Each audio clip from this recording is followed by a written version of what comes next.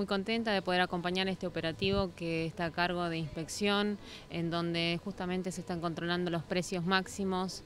Es un operativo que busca justamente controlar el valor de los productos y evitar así también el desabastecimiento de la mercadería.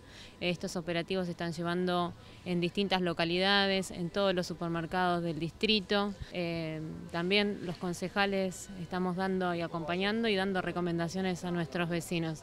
Así que vamos a continuar con estas medidas que tienen que ver con otra forma de cuidar a nuestros vecinos y sobre todo el bolsillo de, nuestros vecinos, es colaborar con las familias de Tigre eh, en su economía a través de estos controles. Un operativo encomendado por el intendente Julio Zamora, justamente para eh, controlar los precios y ayudar a la economía de nuestros vecinos. Eh, es una responsabilidad que ya manifestó el presidente de la Nación, de que los empresarios también hagan el esfuerzo y que se mantengan los precios máximos establecidos para poder entre todos llevar adelante las consecuencias eh, tan negativas que está llevando a cabo esta pandemia mundial.